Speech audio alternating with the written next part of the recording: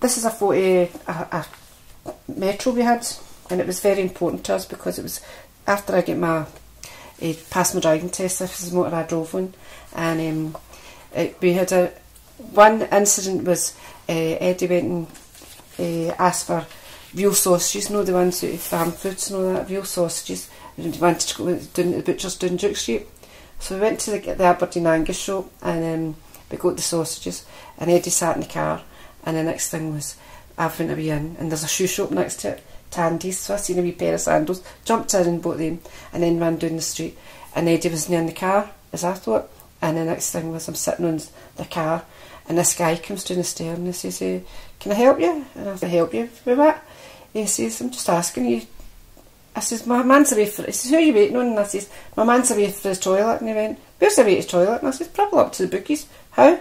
And he went like, he says, eh, just asking how. Is he going to belong? No, he's not going to belong.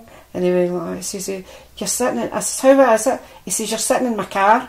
And I thought, ha ha, stood up and I went, oh my God, they're in car. And he went, I'm sorry. I went, I'm sorry. And I ran away from him and I ran down the street. And the next thing, in the next street, my husband was sitting in his, Eddie McCann was sitting in his own car.